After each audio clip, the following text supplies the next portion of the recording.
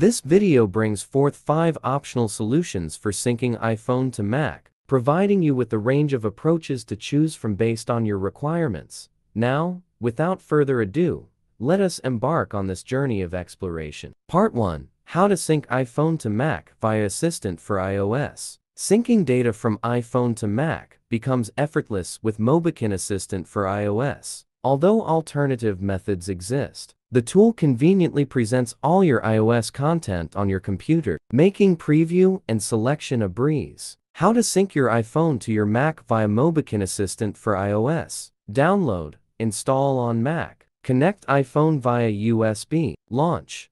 Follow guide for recognition menu. Pick file types, choose items, preview, sync with Mac.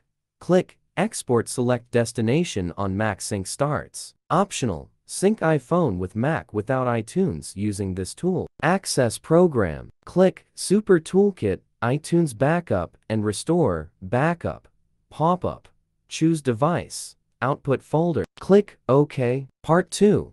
How to sync iPhone with Mac using Finder. Connect iOS device to Mac via USB or Lightning USB cable. Open Finder on macOS 10, 15 Plus. Select iPhone in sidebar. Click General tab. Check Show this iPhone on Wi-Fi.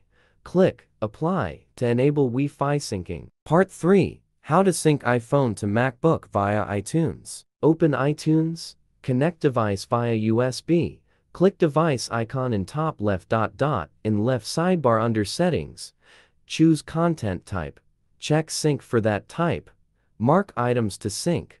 Click apply in bottom right. If not auto syncing, click sync. Part 4. How to sync iPhone wirelessly with Mac via iCloud. iPhone. Go to home screen settings. Choose device name enable contacts in iCloud. Mac. Click System Preferences, iCloud. Login, check Contacts. For syncing, open Apple Contacts, app on Mac, all iCloud for iPhone contacts. Part 5. How to sync iPhone to Mac wirelessly using AirDrop. iPhone. Control Center, AirDrop choose Visibility. Mac. Finder, AirDrop set Visibility.